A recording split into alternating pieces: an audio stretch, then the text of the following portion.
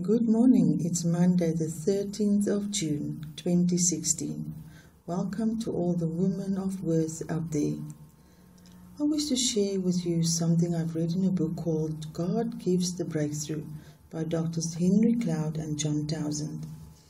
Most people will tell you that in the midst of the most unspeakable suffering, they don't want an explanation. They want your presence. The ultimate answer then to the problem of pain is a person. It's God Himself. We as women always have the need to rescue, but sometimes we need to keep quiet and just listen. Really listen. And ultimately pray for that person to be strong enough to go through the situation until God shows up. God makes a way even through death and suffering by revealing His presence. Like Job, we never know when, where, or how He's going to show up, but He will.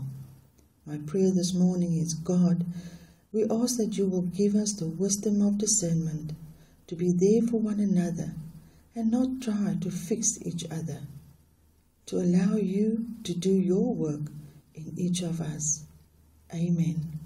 Have a blessed day.